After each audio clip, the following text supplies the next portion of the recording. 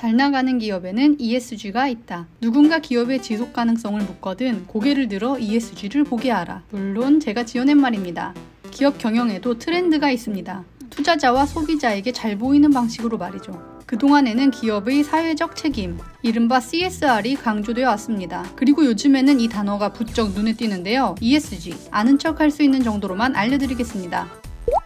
Environment 환경, social 사회, governance 지배구조, 기업을 평가하는 새로운 세 가지 요소입니다. 2006년 4월 유엔이 사회 책임 투자 원칙을 발표하며 처음 등장한 개념입니다. 여러분이 기업에 투자한다고 생각해 보세요. 매출은 얼마나 내는지, 영업이익은 얼마인지, 현금 흐름은 어떤지 아주 꼼꼼하게 보겠죠. 그리고 이익을 꾸준히 잘 내겠다 하면 투자를 할 겁니다. 이전에는 이런 재무적인 지표로 기업의 가치, 성장성을 평가했습니다. 그런데 이제는 시대가 바뀌었습니다. 기업이 잘하는 하는지 못하는지 다른 요소들도 따지기 시작한 거죠. 그 유패가 바로 ESG입니다.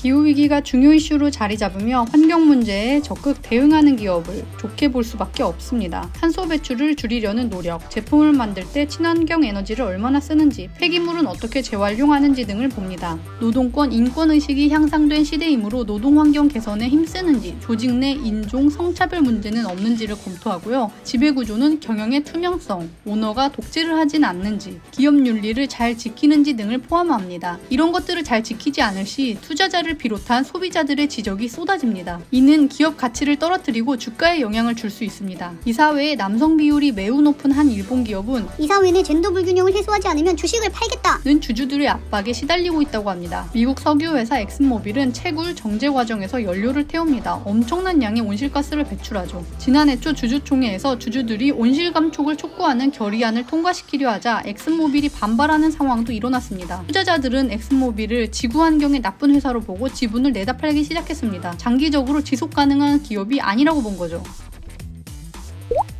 ESG 지수를 개발한 모건 스탠리 캐피털 인터내셔널은 홈페이지에 기업 ESG 등급을 공개하고 있습니다. 단 기관마다 디테일한 평가 요소가 다르기 때문에 절대적인 등급은 아닙니다. 탁월 수준인 AAA를 받은 기업에 마이크로소프트가 있네요. 2016년 5월 1일 전부 AAA 등급입니다. 마소는 이미 10억 달러의 기후 혁신 펀드를 만들어서 탄소 제거 기술 개발을 지원하고 있고 2050년까지 창사 일에 배출한 모든 이산화탄소를 회수하겠다는 목표도 세웠습니다. 글로벌 기업 중 환경 문제에 가장 적극적으로 대응한다는 점에서 높은 평가를 받은 것으로 보입니다. A등급에는 테슬라와 삼성전자가 있네요.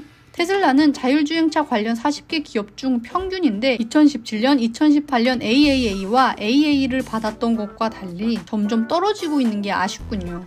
삼성전자는 기술 하드웨어, 저장장치 52개 기업 중 평균인 A입니다. 이 산업군에서 AAA를 받은 기업이 0%라는 걸 볼 때 꽤 좋은 평가를 받은 것 같습니다. 카카오 같은 경우 지수가 계속 좋아지고 있는데요. 지난 2월 김범수 카카오 의장이 재산의 절반 이상을 사회에 환원하겠다고 선언한 바 있습니다. 이를 두고 기업의 ESG를 위한 것이란 분석도 있습니다. 실제로 이후 ESG 조사기관에서 좋은 평가를 받기도 했고요. 앞으로 전망 좋은 기업을 찾고 싶다면 ESG 지수를 잘 살펴보시기 바랍니다.